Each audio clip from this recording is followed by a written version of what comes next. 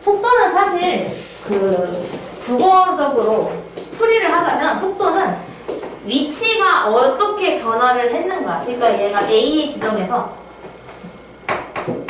B 지점까지 가. A까지 이렇게. 어, B 지점까지 가서 속도가 의미하는 것은 얘가 A에서 B까지 가는데 우리가 속력은 시간분의 거리라고 해서 얘가 이만큼의 거리를 가는데 그때 걸린 시간이 얼마냐 인 거잖아. 그래서 지금 여기서 이 dt하고 dx가 있어. 근데 제가 그때 미분 처음 할 때 이거 형태 비슷한 거 있어서 dx분의 dy라고. 근데 그거 나중에 쓸 거니까 제가 패스 한다고 했었거든요. 근데 여기에서 이 d가 의미하는 게 뭐냐면 우리가 그때 했던 델타이지. 그 델타를 그냥 d라고 쓰는 거예요. 그래서 지금 얘가 dt분의 dx가 의미하는 건 뭐냐면 델타 델타 t분의 델타 x를 의미를 해. 그때 이 델타 t는 뭐냐면 이건 타임의 약자 t예요. 즉 걔가 이제 알려줄 거야. 뭐 t가 1초일 때, 뭐 2초일 때 이런 식으로 줄 거예요. 그래서 얘가 이거는 속도는 시간의 변화량을 해.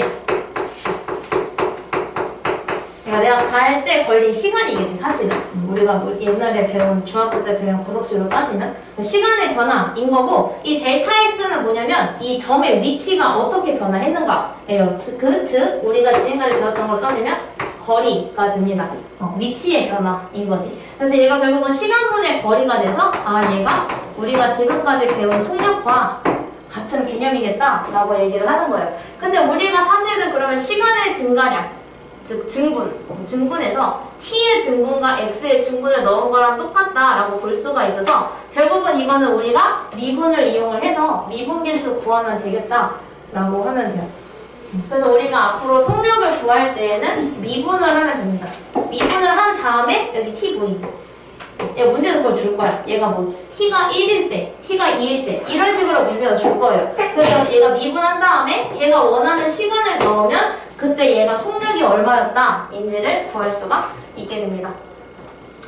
여기에 예시가 있을걸? 어, 여기 얘가 t에서의 위치가 x는 마이너스 2t제곱 플러스 t 마이너스 2 이거 보이지? 어. 얘가 근데 어 y가 아닌데요 선생님? 상관없어 얘는 지금 y가 안 나오고 x가 y 역할을 하고 있는 거고 t가 x의 역할을 하고 있는 거예요 그럼 이 상태에서 이 x를 미분하면 돼요 이렇게 음, 그럼 이거 미분해서 얘가 지금 원하는 게 t 이거를 구하고 얘가 만약에 t가 1초다 얘가 만약에 얘가 1초만큼 갔어 그럼 얘는 속력이 얼마야? 라고 물어본다면 아 1초일 때 그럼 여기 미분한 거에다가 1 넣으면 돼 여기다가 미분한 거에 1 넣으면 마이너스 3 이라는 걸 알 수가 있죠 그럼 그때 얘 속도는 마이너스 3이었다 이렇게 알 수가 있어요 근데 이제 또 그럴 수 있어 속도인데 왜 마이너스예요? 라고 생각할 수가 있는데 속도가 마이너스인 거는 이 기준점이 0이 아닐 수도 있지만 얘가 만약에 기준점이야. 얘가 출발. 하는 기준에서 마이너스 3이 의미하는 것은 얘가 플러스, 얘가 마이너스잖아요. 그럼 마이너스의 방향으로 3의 속도로 간 거예요. 그래서 얘가 마이너스 3도 나올 수가 있어요. 음수, 음수로 나올 수가 있어요. 어, 그렇게 생각하면 되고 그 다음에 요 A는 가속도예요. 약간 저거 않나?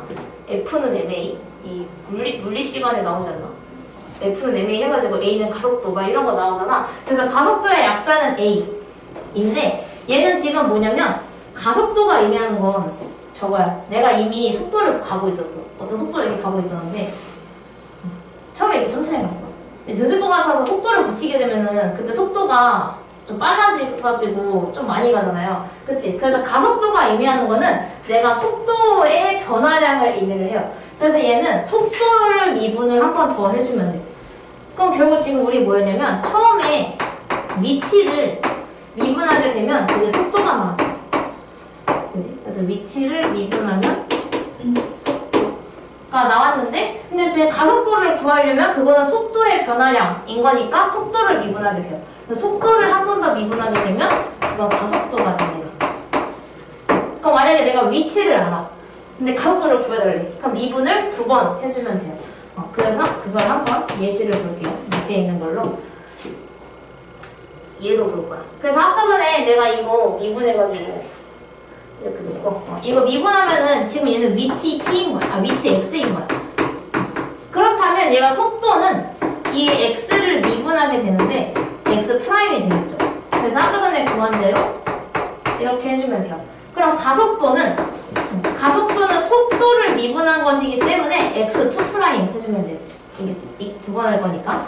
이걸 또 미분해주면 돼. 그럼 마이너스 4 라는 걸 알 수 있겠죠. 그럼 얘는 가속도가 항상 마이너스 4인 거지, 계속. 가속도는 계속 마이너스 4에서 변화가 없는 거겠죠. 이렇게 보여주면 돼요. 그래서 여기도 나와 있지. 속도의 부호에 따른 운동 방향인데 속도가 만약에 마이너스로 나왔다면 얘는 음의 방향으로 가고 있는 것이고 어, 속도가 양수로 나왔다면 양의 방향으로 가고 있는 것이다. 어쨌든 속력으로 따지면 3인 거예요. 그래서 확인 1번. 또 우리가 방금 한 거대로 똑같이 풀어주면 됩니다. 그래서 얘도 마찬가지로 위치 x를 이렇게 줬어. 이게 위치야. 그럼 속도를 구하려면 얘를 미분을 해야 되겠죠. 그지? 얘를 미분해야 되겠지. 그럼 얘를 미분하면 8t 3. 일단 이렇게만 구해놓을게. 그 다음에 가속도를 구하면 얘를 두 번 미분 해야 되니까 8이에요. 근데 지금 얘가 t가 5일 때의 속도와 가속도를 원하고 있기 때문에 그때의 속도는 t에 5를 대입한 40 빼기 3, 37. 이게 돼야 되고 가속도는 그냥 8 고정이죠. 가속도는 8. 그러니까 속도는 37, 가속도는 8이다. 이렇게 해주면 돼요.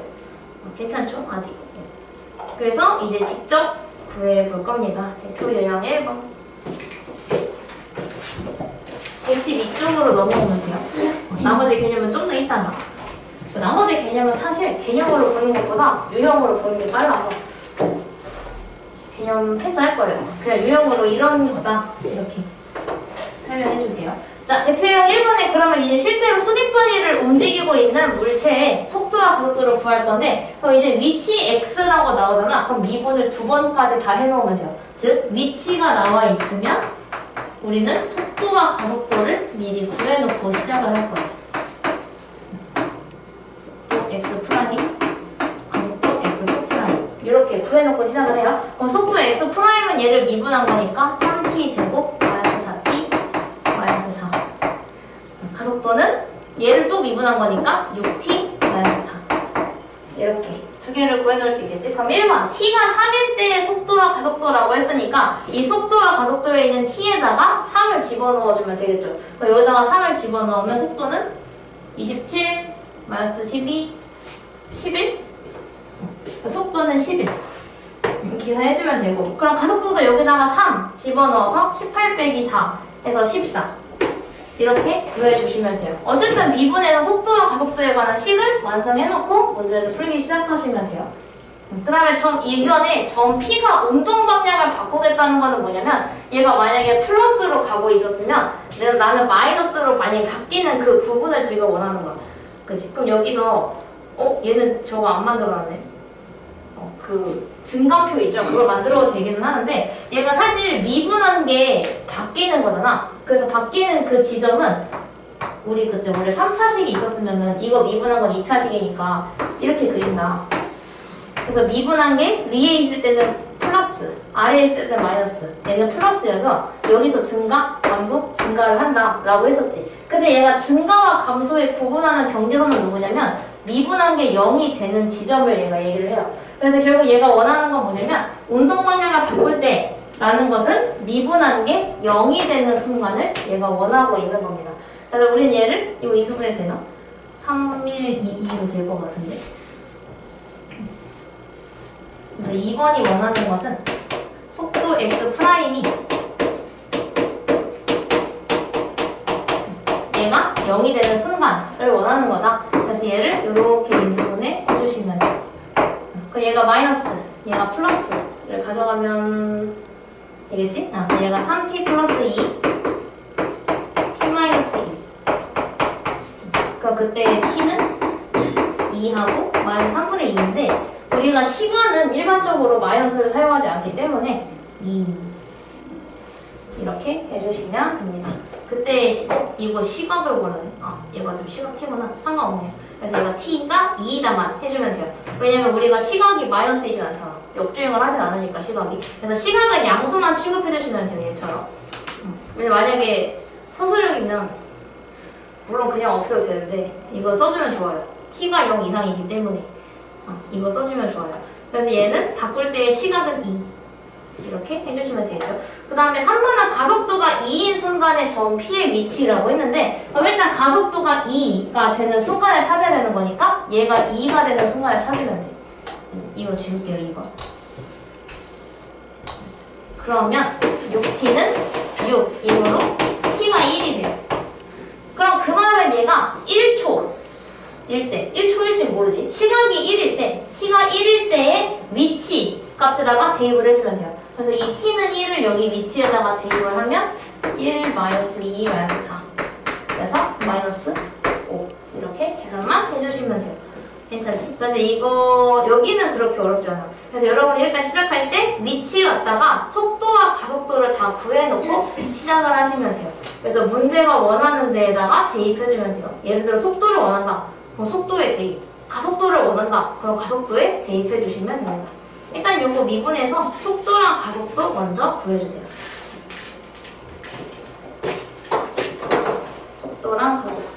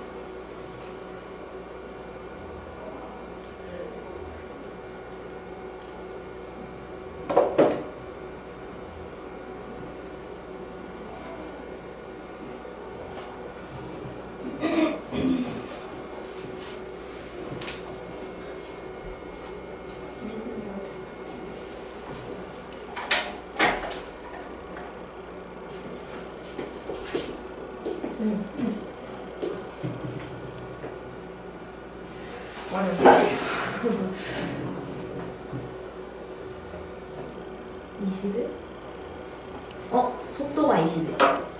가속도 말고. 가속도가 21이라고 그러는 거 아니야? 그지? 너도 그렇게 한거 같은데? 속도가 21이야. 가속도가 아니라. 속도가 21이라고요? 응, 음, 얘가 21이고. 근데 너는 이게 21이라고 했어. 얘가 21이야. 속도가 21이라고 했어. 이거는 이 사람 안 봤어.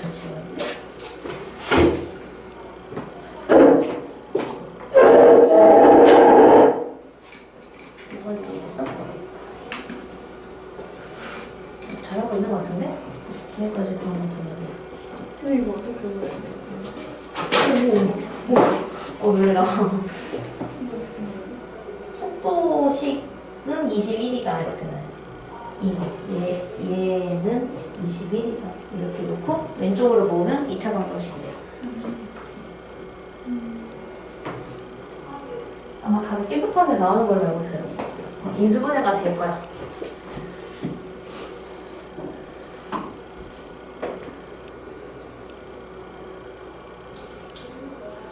이거는 제가 힌트를 정하고 원점을 통과할 때 돼?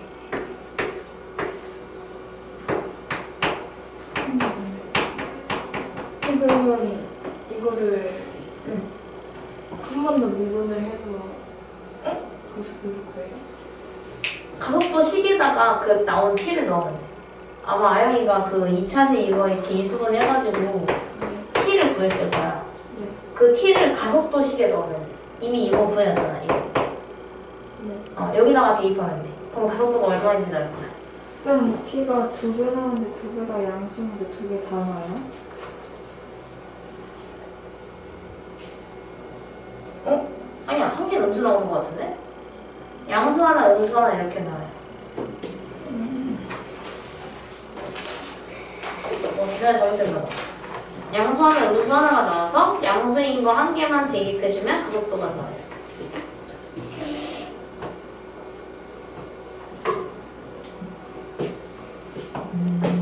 이거는 풀어야 해요?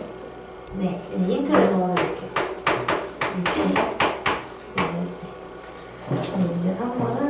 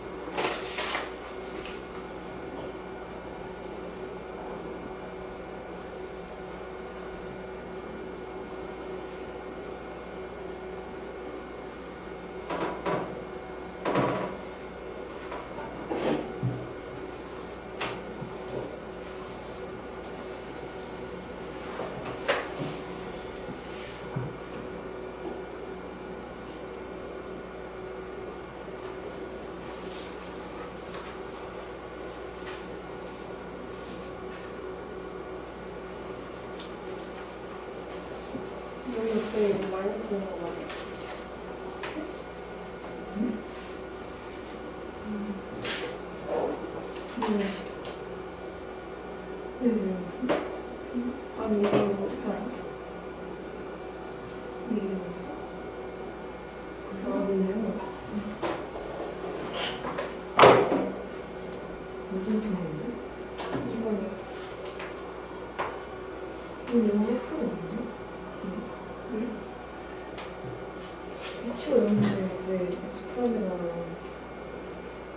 아니 시간 먹는 거야. 시간 이게 넣었어. 맛있고.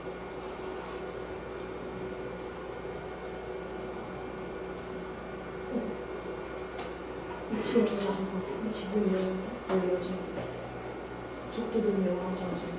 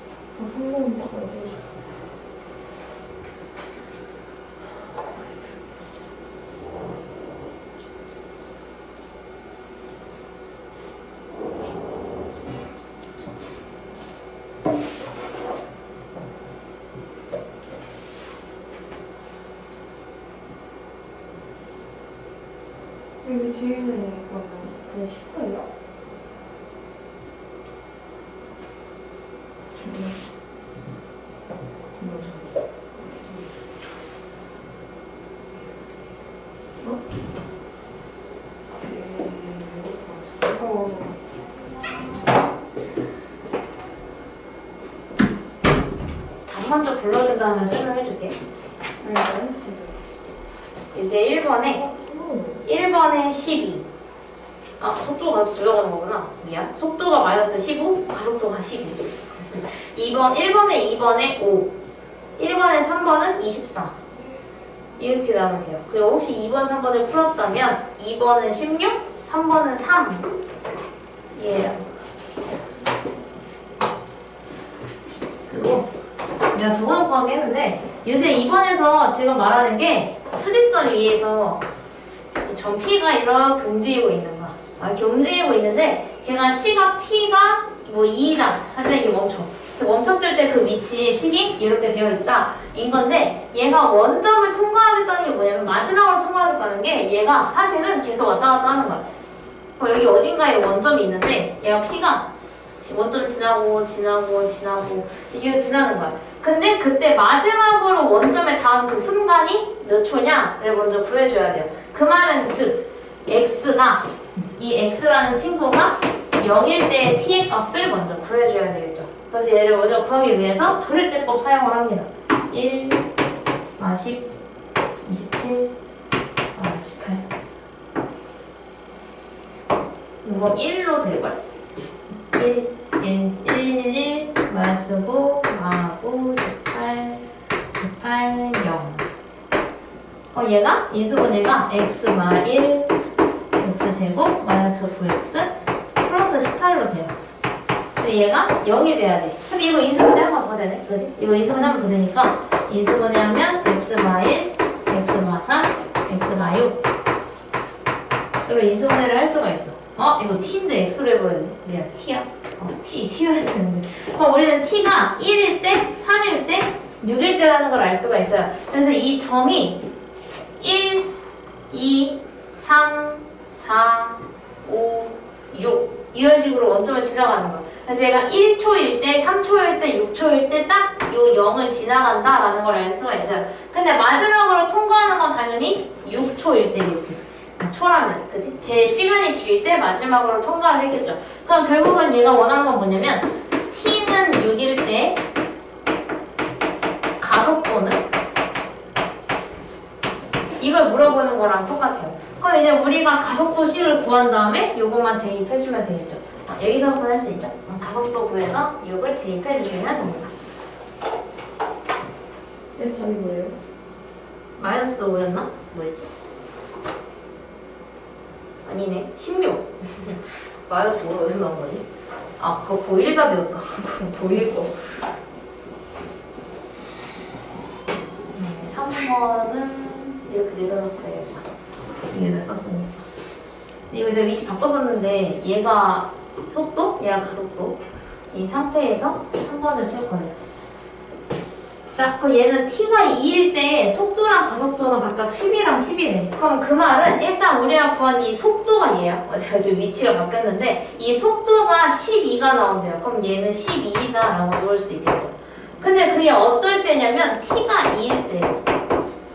그럼 이 t를 여기다가 대입을 하면 식이 한 개가 나와야 되겠지. 그럼 이 2를 여기다 대입해. 그럼 얘가 12 더하기 4p 더하기 q는 12다. 맞아? 이거 뭐지? 얘가 4p 플러스 q가 빵 응. 이렇게 식하게가 나오거든요. 그러니까 두 번째로 할 수 있는 건 가속도가 10이래. 뭐 이거 잘못한 거 아니겠죠 혹시? 아니 이건 응. 가속도가 10 나와야 된대 10. 근데 언제? 얘도 t가 2일 때. 그럼 2를 여기다가 대입을 하게 되면 12 플러스 2p는 10이다 라는 걸 알 수가 있게 되고 그렇다면 이 p는 12 이항 시켰을 때 마이너스 2가 되므로 p는 마이너스 1이다 라는 걸 구할 수가 있어요 그지? 그럼 p 마이너스 1을 여기다가 대입을 하게 되면 q가 나오지 마이너스 1 대입하면 마사 뿔 q가 0 그래서 q가 4 왜? 나 뭐 잘못 풀었어? 아니요. 왜? 계산 실수. 아 내가 잘못한 게 아니지? 네. 그쪽이 잘못한 거지? 어, 그래서 이거 P 더하기 Q를 구조를 했으니까 P랑 Q를 더하면 3. 이게 3번에 3. 이래서 3 아닌 거 아니야? 3이네. 다행이다. 혹시 나도 계산 실수를 할수 있으니까. 그렇다면 그래프를 보고 어떻게 찾을 수가 있는가? 입니다. 자, 지금 얘가 주어진 걸 문제를 잘 봐야 돼. 얘는 무슨 그래프냐면 속도야, 속도.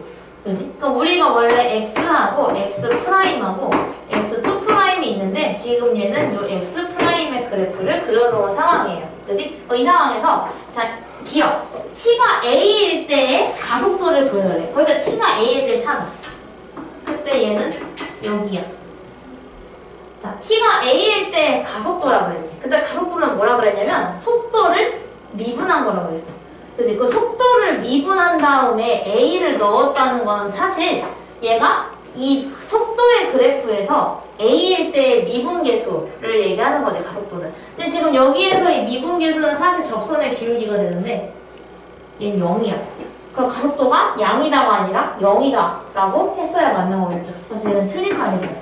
그래서 결국은 우리가 한번 했던 거랑 똑같은 건데 조금 다른 거야. 이게 원래 fx였던 거고 이걸 미분하는 게 미분했을 때 a가 a를 넣으면 기울기가 양수야? 이걸 물어보는 거랑 똑같아요. 근데 지금 기울기가 0인 거니까 쟤는 틀린 말이 되겠지.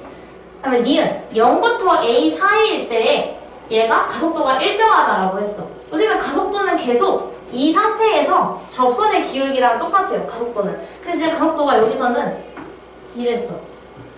그지? 근데 얘가 올라가면 올라갈수록 변화가 생기지. 그지? 그러니까 변화가 일정하다는 거는 뭐냐면 접선을 그렸을 때 계속 똑같은 기울기를 유지를 해야 돼. 그래야 얘가 변화가 없이 일정한 거거든요. 근데 지금 얘는 점점 줄어들고 있어. 그러다가 여기일 때 0이 되는 거잖아요. 점점 줄어들고 있기 때문에 일정하다는 건 틀린 말이 되겠죠. 다음에 디귿. t가 a일 때와 c일 때. A일 때는 여기. c일 때는 여기야.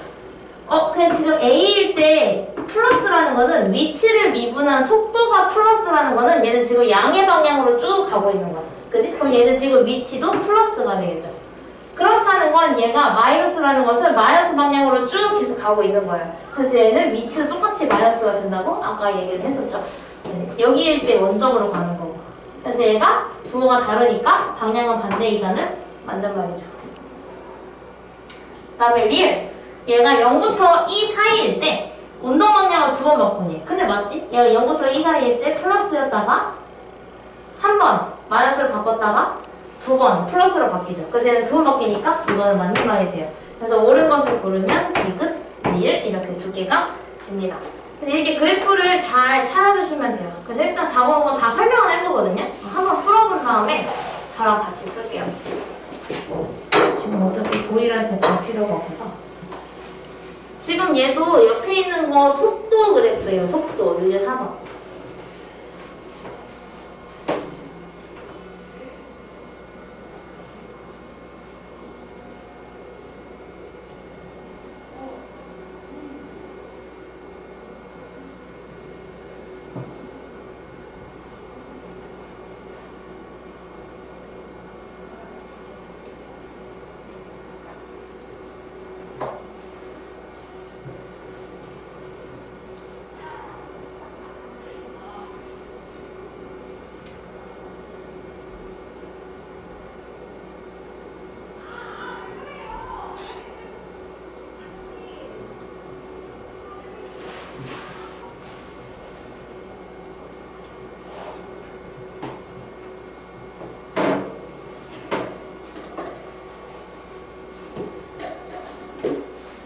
근데 운동 방향 바꾸는 게 어디서 일어나는 건지 모르겠어.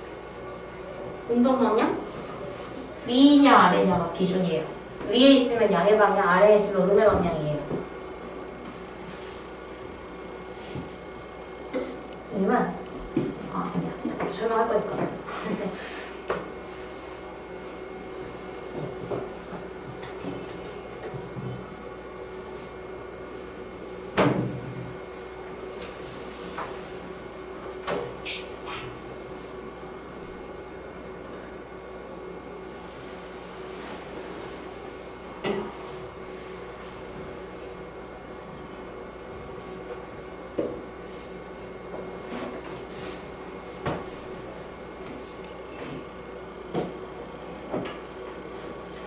일단 위에 4번은 어? 한 바퀴 돌아볼게 밑에 거 몰랐네 아니에요. 뭘, 뭘 썼는지 모르겠어 니은을 모르겠어?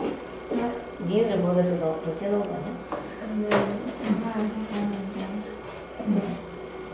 이렇게 올라가서 아니지 않을 되는 바뀌는 거는 맞아. 근데 소신 있게 답을 안 골랐어. 오늘 잘하는 다음에서 자신이 없어요. 어? 봤는데 약간 이해를 한 친구는 거의 다 맞았고 이해가 안 된 친구들은 거의 다 틀렸어. 극단적으로 얘기하자면 이제 4번에서 이거 이렇게 생각하면 돼. 약간 그렇게 하자. 음, 장난감 자동차가 있었어. 약간 초등학교 때 그런 거 하지 않나? 그 무슨 자동차 약간 그런 과학 시간에 이렇게 점을 해가지고 자동차가 움직이면서 1초마다 점을 찍는다 해가지고 이렇게 막 점 찍는 거 막 그런 거 있거든요. 그런 것처럼 잠깐 미니 자동차가 간다고 생각을 하면 얘가 속도의. 그럼 얘가 올라가고 있다는 거는 자동차가 붕 속도 올라가고 있는 거야.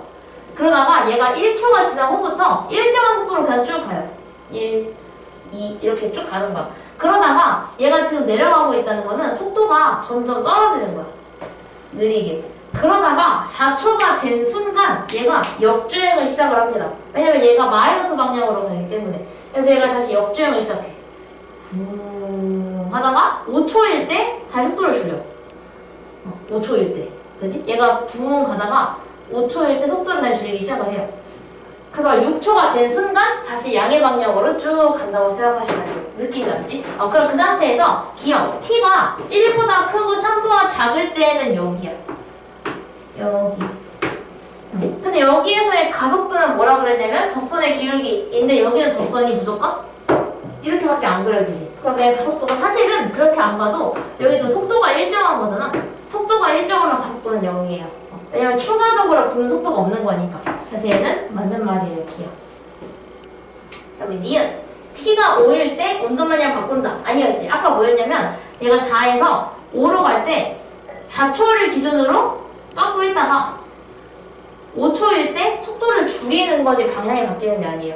그래서 얘는 틀린 말이에요. 운동마냥 바꾸는 게 아니라 속도를 줄인다라고 해야 맞습니다.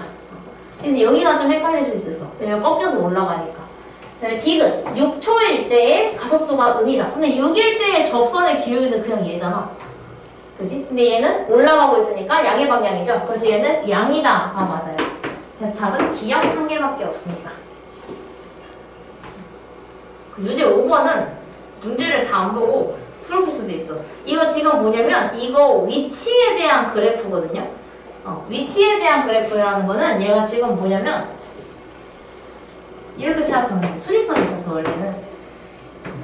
근데 얘가 여기에 시간일 때 얘가 만약에 마이너스 2였다고 치자. 어, 얘가 그러면 마이너스부터 시작을 하는 거야.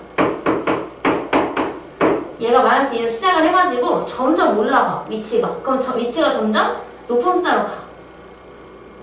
가다가 얘가 그러면은 계속 올라가게 숫자가. 내 위치가 계속 양의 방향으로 쭉 바뀌고 있는 거야. 그럼 얘는 지금 운동 방향은 계속 양의 방향이에요. 그지? 방향 방향이다가 얘가 여기에 딱 닿은 순간부터 다시 음의 방향으로 가기 시작을 하는 겁니다. 얘는 위치이기 때문에. 그래서 얘는 위치가 점점 양의 방향으로 증가하고 있다가 여기에 된 순간부터 다시 감소를 시작하기 때문에 처음으로 바뀐 것은 B가 돼요. 그래서 만약에 이게 만약에 미분하는 거였다면 A였을 거야 답이. 근데 얘가 지금 미분하지 않은 상태의 그래프이기 때문에 B를 골라줘야 되는 겁니다. 어, 이걸 캐치한 사람들은 이해를 좀 잘하신 것 같아요. 음, 속도와 가속도의 반응. 자, 이거 사실 그 우리 2차 함수? 2차 방정식 때인가?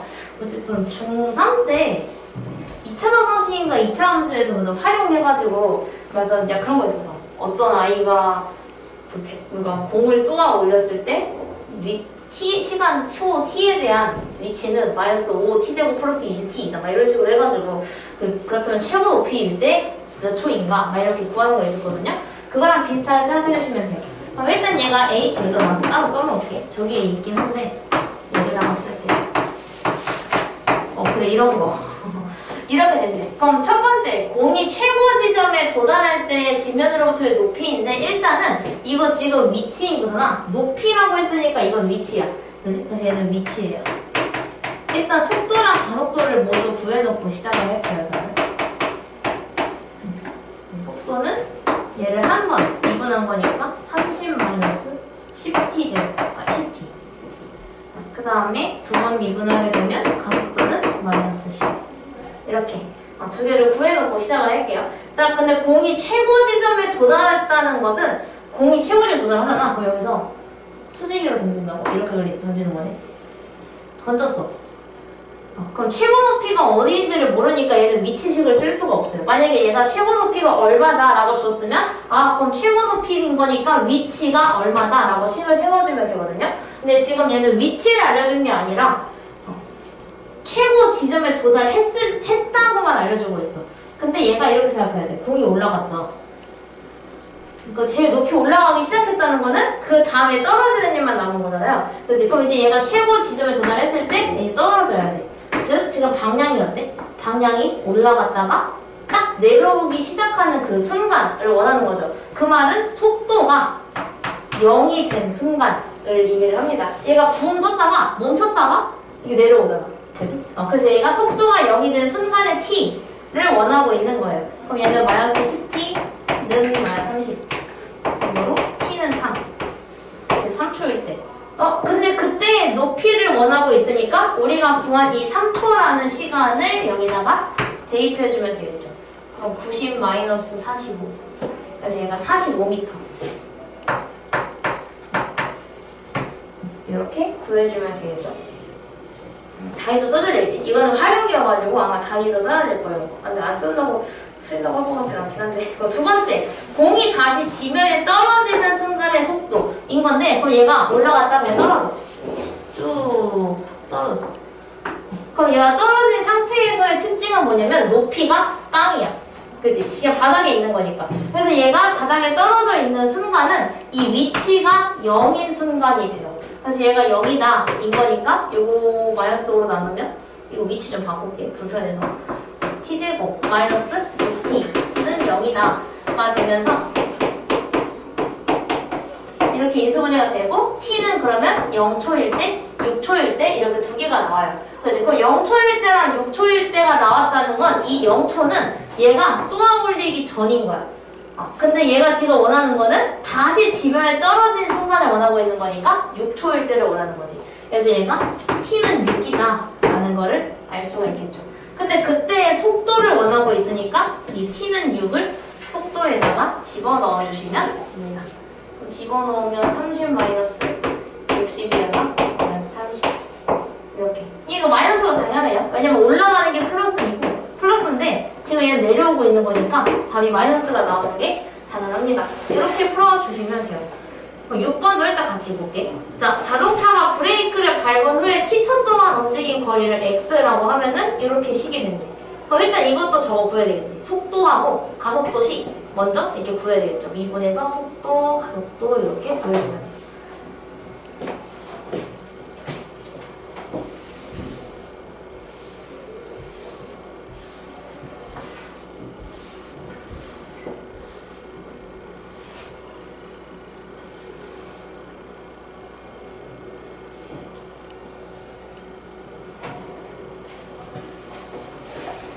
그 다음에 브레이크를 밟았다고 했잖아. 그러면은 이- 얘가 달리는 자동차가 계속 달리고 있었는데 브레이크를 밟으면 점점 속도가 느려지기 시작을 할 거예요. 음.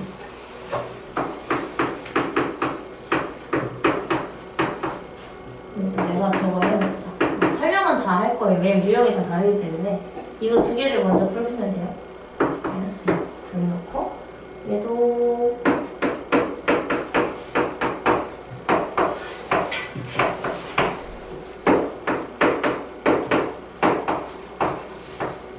이렇게 다 구해놓을게. 속도랑 가속도. 띄운 김에 이거 두 개 한꺼번에.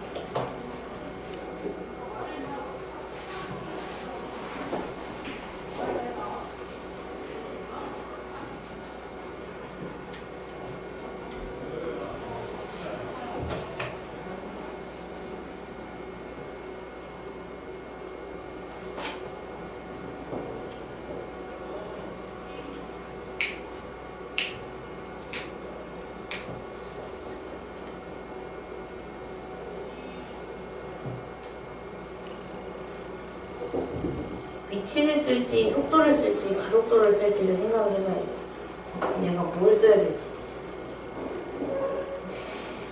설명 안 할 거니까 천천히 생각해봐. 다 설명은 할 거야. 이제.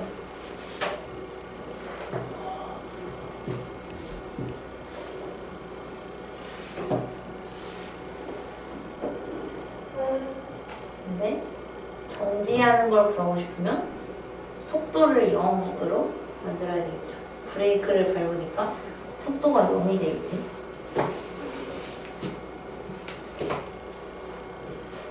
이건 풀 수 있겠죠?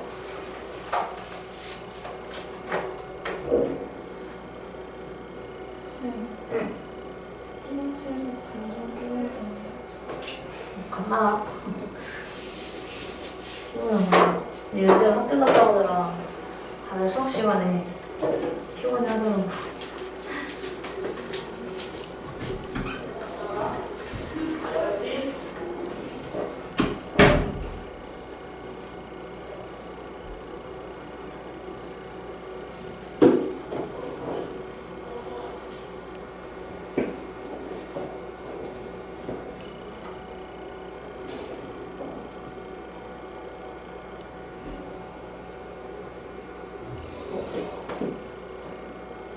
지금까지 했던 미분이 선언이 근데 이거 진짜 호불호 많이 걸려요. 아무래도 문제가 한글이기도 하고 그래서 어, 속도와 가속도가 좀 더 나은데요? 하는 친구들도 있는 반면에 지금까지 했던 활용 중에 얘가 최악이라고 하는 유형이 있어. 난 얘가 최악이었어. 내가 학생이. 아, 그니까 뭐라 하지? 문제가 이해가 좀 안 돼가지고, 어? 뭐지? 문제가 이해가 안 되는데? 이런 점이 많아서 얘는 지금 브레이크를 밟아 정지할 때가 궁금한 거니까 속도를 0으로 만들어 주시면 돼요. 멈추면 속도가 빵이 되겠죠. 이제 7번은 얘가 마, 마찬가지로 얘가 정지하는, 정지할 거야. 정지한다는 것은 얘도 마찬가지로 속도가 0이 되면 돼요. 근데 얘는 힌트가 3초가 걸렸다. 즉, 얘가 0이 나오는데 그때의 t는 3이었다는 얘기를 합니다. 이러면 두 문제 다 푸실 수 있을 거예요.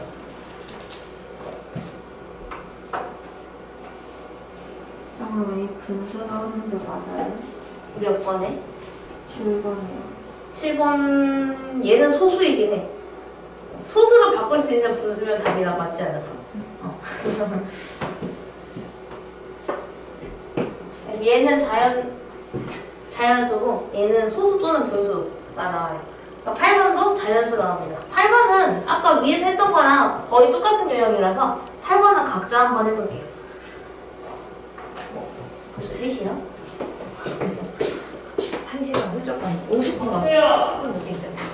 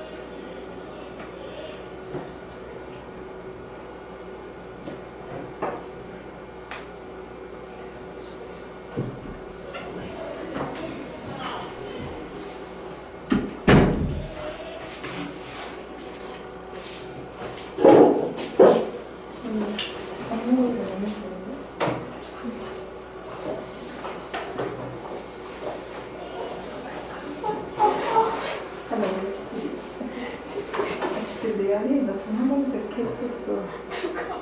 쌤이. 레알이 그래서 이렇게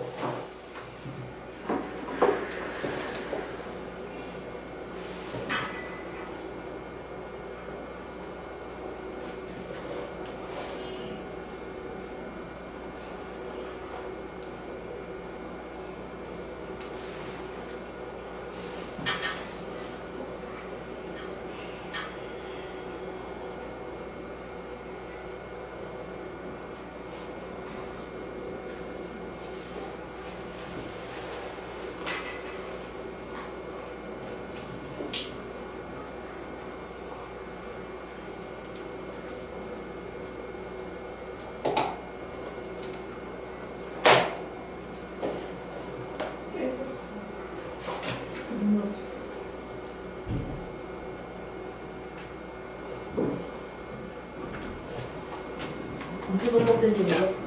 애들이 말해줘서. 그래서 답 먼저 부를게. 문제 6번에 48m, 7번에 0.7, 8번에 95m. 중에서 질문 있는 사람? 왜 다 돌렸지? 뭐지? 내가 한번 볼게. 내가 볼게. 이거 빠놓고. 어, 이거는 이거 되는데. 이거 써놓은 문제로. 저거 속도는 0이다 한 다음에 제가 이제 3초 걸렸다고 문제 나와 있어서 t에다가 3을 넣으면 a를 구할 수 있어. 얘는 다 나왔어? 응. 뭐하네? 음, 얘는 이렇게 써왔는데, 또 이렇게 했는데, 이렇게 틀렸고. 근데 얘는 표시 나오는데, 얘는 잘모르고 있어요. 이거 속도는 0으로 넣으면 이거 넣었는데. t가 4 나온 거야? 그걸 이제 거리의 식에 넣어. 수. 그럼 끝이에요? 그게 끝이야. 이거는 다 나왔어? 이거? 뭐 어떻게 안 해? 뭐가? 아니, 구호인. 구호인 줄 알았는데, 세개 있어. 뭐요? 마이너스 왜 있는 거야?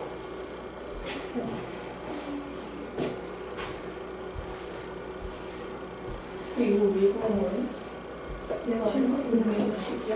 아, 이거 이것도 저거 해야 되겠지? h prime은 a 마이너스 10 h prime은 마이너스 10 이거 이거 구해놨지?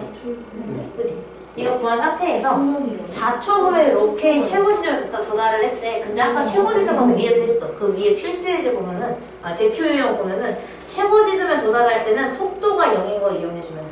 어, 왜냐면 얘가 슝 해서 최고 지점 갔을 때 잠깐 멈추거든. 그래서 얘가 그래서 속도가 0이다를 이용을 하면 되는데 얘도 마찬가지로 근데 그때가 4초였대. 그지? 그럼 여기는 0하고 t에다가 4를 넣으면 a가 얼마인지 구할 수 있겠지. 그럼 이분이 풀 수 있지? 얘 과외가 끝나면 대표형 4번 할게. 쌤 근데요 아. 이거 몇 번?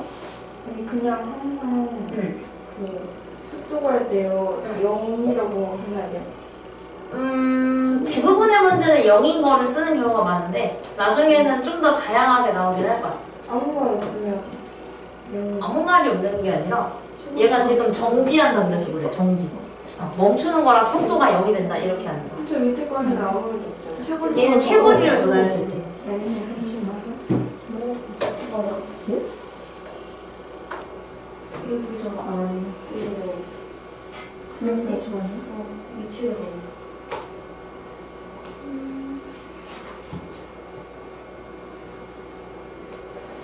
키가 어, 내리가 아니라 그래서.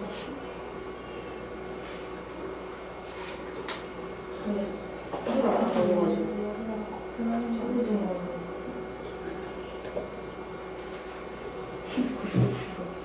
서 맛있어요. 됐어?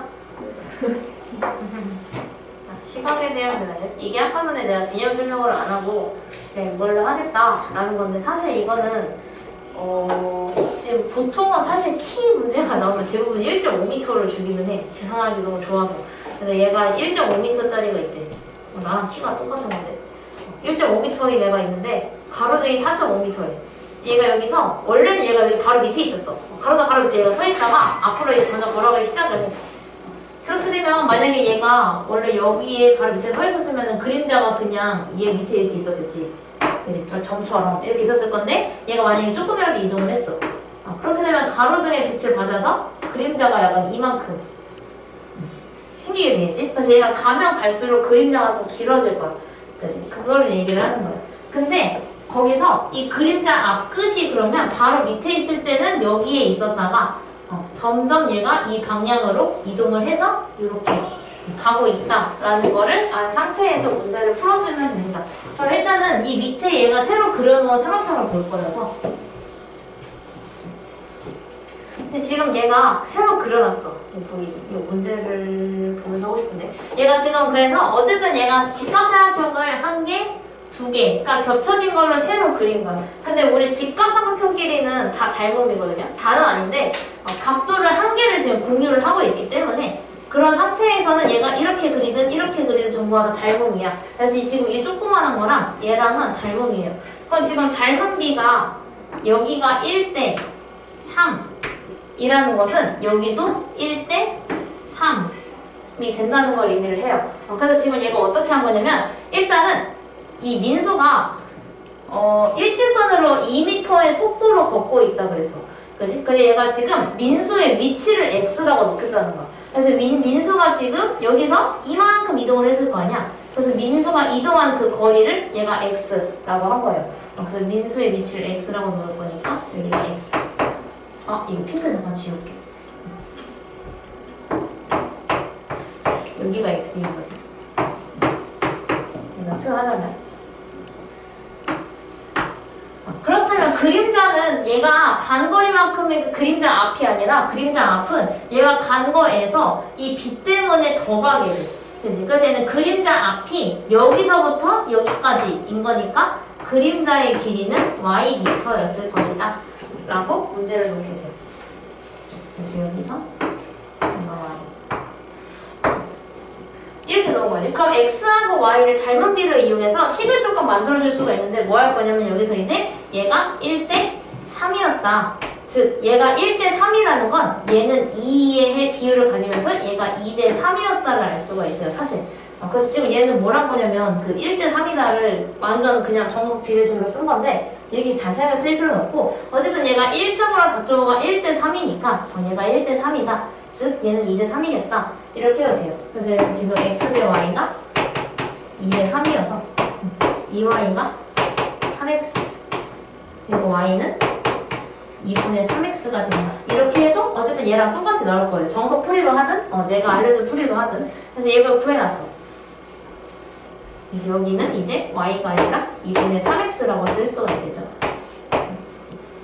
근데 여기에서 이제 민수가 어, 민수가 지금 일직선으로 2m의 속도로 걷고 있다 그래서 그지? 근데 그- 그럼 얘가 그래서 여기 이거 이거 얘만 지울게. 어. 민수의 속도가 1초당 2m를 움직인다 그랬잖아. 그럼 얘가 2m/s라는 거는 1초당 2m를 움직여.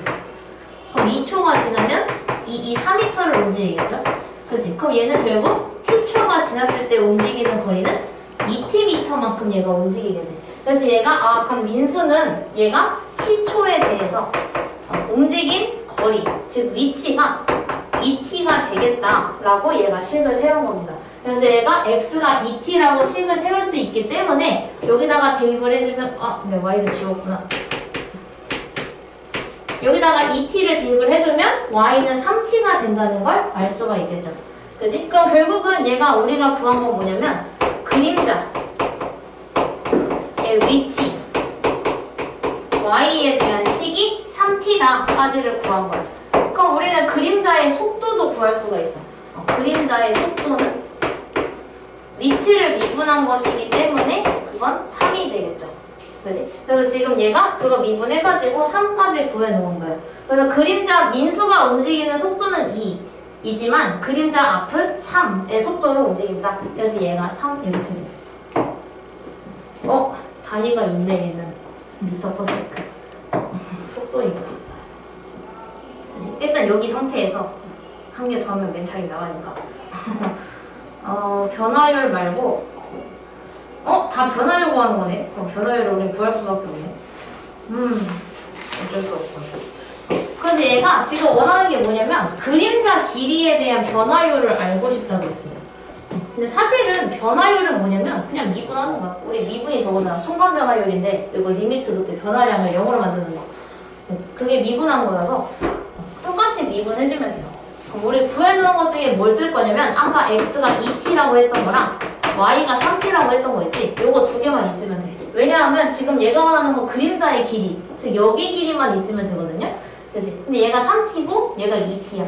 그럼 그림자만 딱 봤을 때 그림자의 길이는 t 로 생기게 되겠지. 그럼 얘가 t가 되는 거니까 아 그럼 그림자는 그냥 얘는 l이라고 놨네. 난 보통 a라고 넣긴 하거든요. 근데 얘가 a가 가속도랑 겹치기는 해. 그래서 마모가 놓고 그냥 그림자가 t의 가지. 가진다. 뭐가? 그림자의 위치. 아, 그러면은 지금 그림자의 속도는 얘를 미분한 게 되는 거니까 그냥 1이래요. 그래서 그림자는 그 변화량이 1인 거지. 계속 속도가 1인 거지. 그래서 이렇게 그냥 보여주시면 돼요. 이렇게. 근데 이게 어려운 이유는 처음에 x, y를 두는 게 어려워서 그래요. 그래서 요거는 제가 도와드릴게요. 유제 9번. 평면의 길이가 2.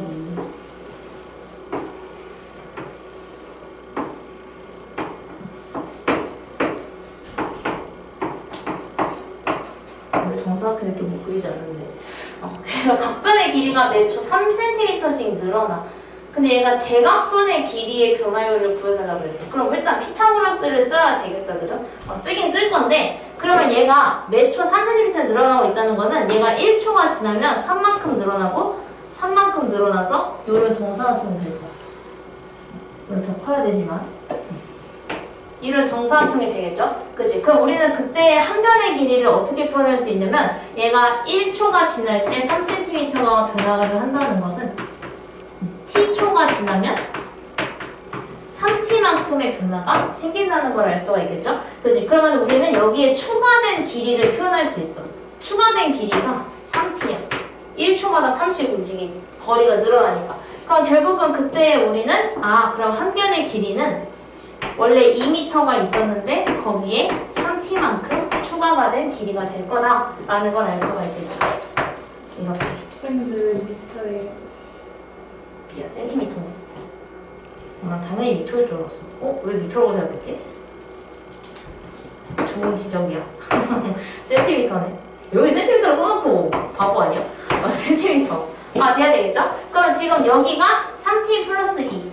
여기도 3t 플러스 2면 그때 대각선의 길이를 여러분이 표현해 주시면 돼요.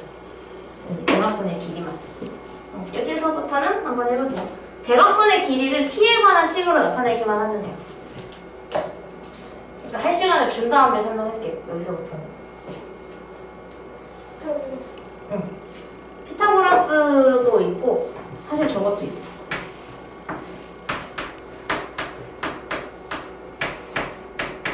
이게 1대 1대 루트 2. 그래서 만약에 이 길이가 3이면 얘는 3루트 2가 되는 거야. 이것도 있긴 있어. 어, 이거 쓰면 대각선 길이 바로 t로 표현할 수 있기는 해요. 어, 그럼 여기 답이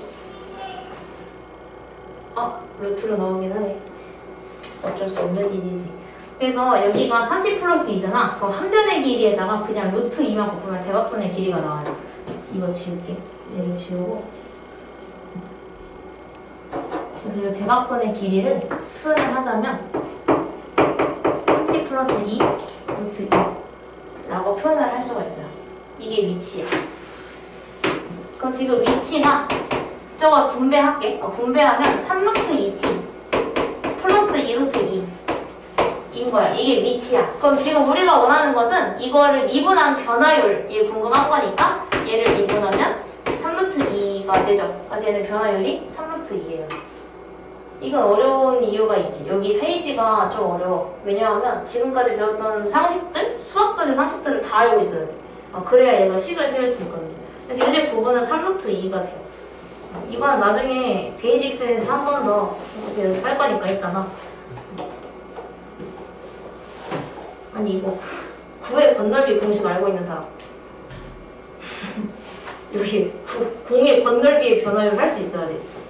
9의 건널비 공식 알고 있는 사람. 너? 아니야? 아무도 몰라?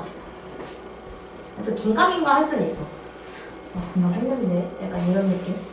근데 까먹을 만 해. 왜냐면 이거 언제 하냐면 이거 중학교 1학년 때. 지금 이제 다음 주에 우리 중1 애들 이거 할 거거든. 그 중1 애들 이제 멘트 나가겠지. 이건 적어놓으세요. 이거는 근데 고1 때도 가끔 나왔던 거거든. 9의 건널기. 약간 원뿔이랑 이런 거는 다들 저건데 알고 있는데 9는 좀 자주 까먹어. 근데 이거는 거기 구석탱이, 구석탱이에다가 적어놓으세요. 9의 건널비는 4파이 r 제곱입니다. 그리고 부피는 3분의 4파이 r 세제곱이에요. 이렇게. 이거는 구석탱이에 적어놓으세요. 나중에 또 나올 수도 있으니까.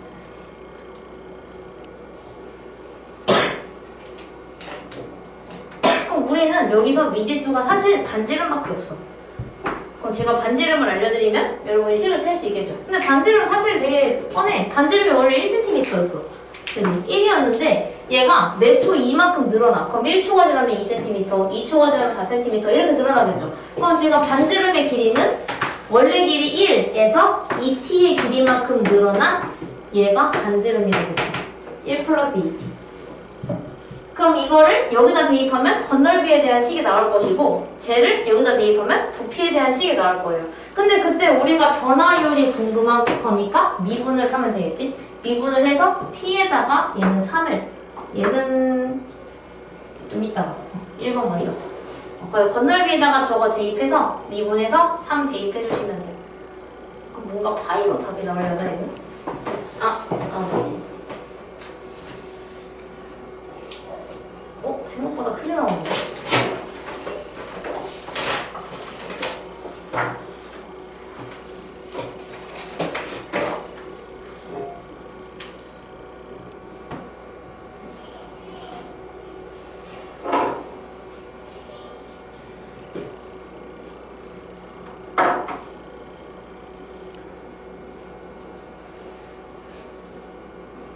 미분을 먼저 해야 돼요?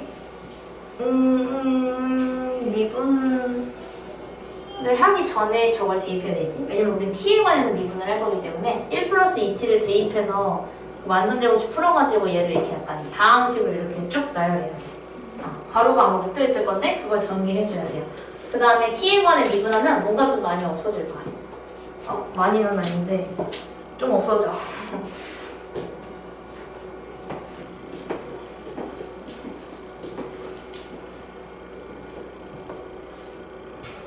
대입했어? 어, 예?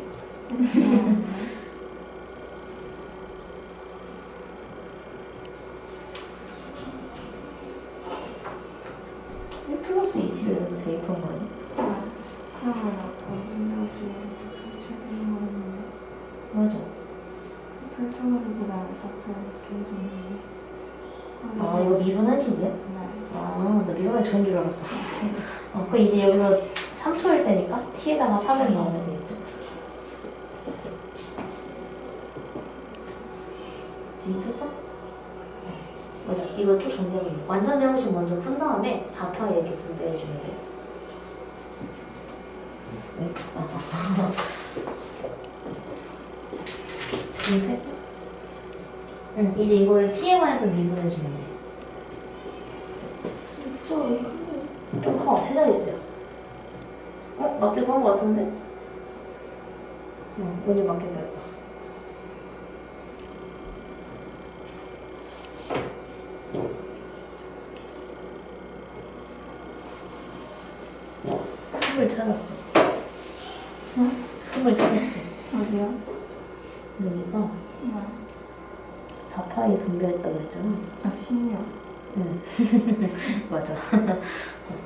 Casablanca.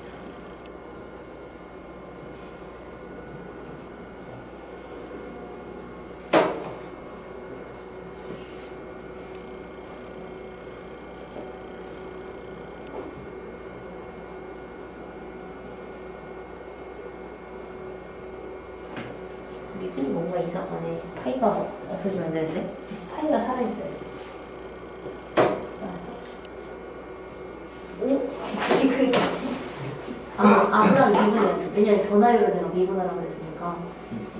어, 이게 지금 얘가 뭐냐면, 얘가 지금 저거야. 반지름 넣었을 때 그 건널비, 그냥 건널비. 근데 건널비의 변화율이 궁금한 거니까 얘는 미분을 한번 해줘야 돼. 어, 미분한 다음에 다시 3 넣으면 다 나올 거야. 이번에는 계산을 잘해서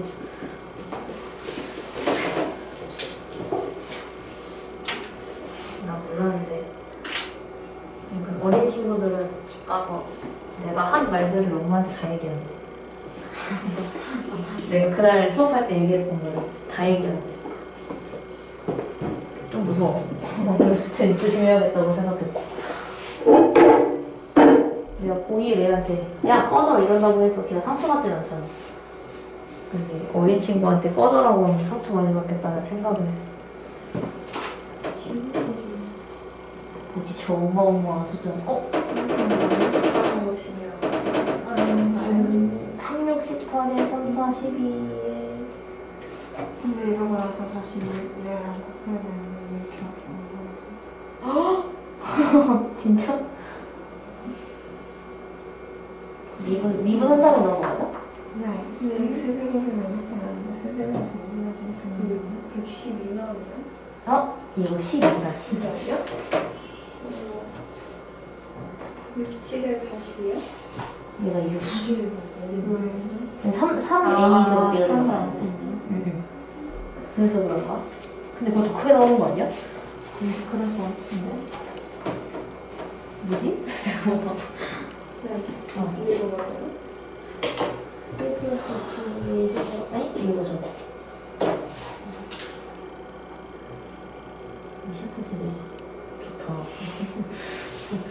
이거 쓸 때 되게 부드럽게 잘 써져 2공식 쓰면 돼 합의 세제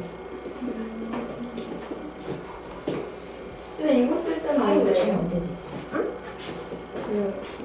그거는 이거 아영이가 헷갈리는 건 이거야. 지금 우리가 풀어야 되는 건 이걸 풀어야 되는 거고 아영이가 쓴 거는 이거야. 다음에 세제곱. 음, 다르게 생겼어. 얘가 분배가 되어 있느냐 아니면 괄호의 세제곱이냐. 이거 차이가 있어 좀 썼다.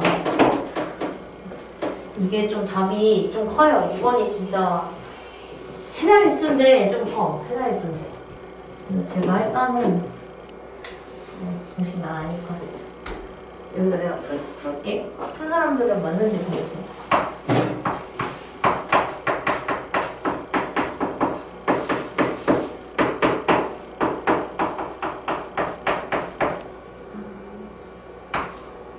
아 아닌데 뭔가 위치 바꿔서 해야 돼 이티 플러스는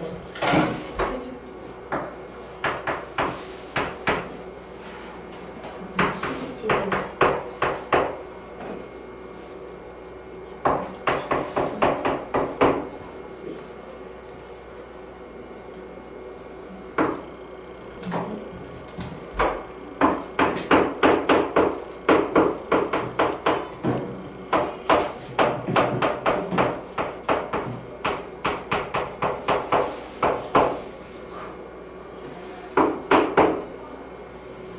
이걸 꺼내면 8타이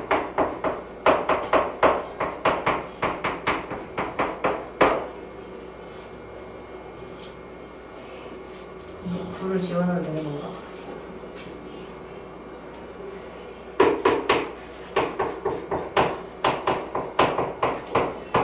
번식과 360. 왜 이렇게 크게 나와? 뭔가 이상한데? 아! 미안. 이거 내가 설명 적어야 된다. 반지름이 9가 됐을 때니까 얘가 9가 됐을 때를 해줘야 돼. 그래서 얘가 8이어서 t에다가 4를 넣어야 돼. 이거 설명 시간에 내가 깜빡했어. 어. 근데 이거를 생각 안 하고 그냥 9를 넣은 사람이 있겠지? 얘가 그럼 4를 넣으면 9, 81에 8 곱하니까 648. 파이. 답이 이거 나오면 맞아요. 그래서 648파이. 저거 설명해주려고 깜빡했다. 그래서 내가 일단 여기까지만 이라고 했던 이유가 있었는데 돌아가다가 까먹었어. 얘는 2번은 반지름의 길이가 9가 됐을 때가 궁금한 거니까 어, 지금 우리가 세운 반지름 식이 9가 되는 t를 찾아서 대입을 해줘야 돼요. 왜냐면 우리는 지금 반지름이 나와 있는 게 아니라 t가 나와 있는 거여서 어, 그래서 얘가 t를 먼저 넣고 해주셔야 합니다. 그래서 진도는 여기까지 하고 베이직선을 꺼내시면 돼요. 그럼 오늘